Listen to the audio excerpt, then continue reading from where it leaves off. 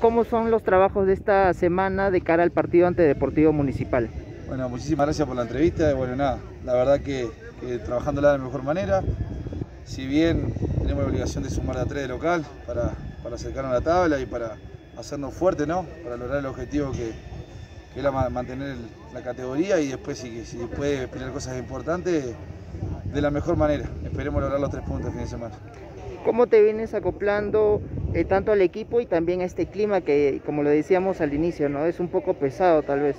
No, vos sabés que al comienzo, cuando comenzó todo, me costó obviamente aclimatizarme un poco, el tema de las pelotas, el tema de, los pelotazos ¿viste? para los arqueros, eh, vuela diferente. Pero bueno, gracias a Dios por, nos vemos de la mejor manera y bueno, ahora esperemos lograr la victoria el fin de semana. ¿Cuáles son los trabajos y las indicaciones que le da el profesor Juan Carlos Basalar durante la semana en cada fecha? No, en cada fecha obviamente cada partido es diferente, ¿no? Cada partido eh, de local es una cosa y visitante de otra, pero siempre intentando plasmar el juego, de las ganas, la actitud, que no se negocian y, bueno, lo colectivo, ¿no? El grupo, el grupo, mantener el grupo, juntito, ser equilibrado y bueno, no hemos conseguido el gol, pero si Dios quiere van a venir y en gran cantidad, ¿no?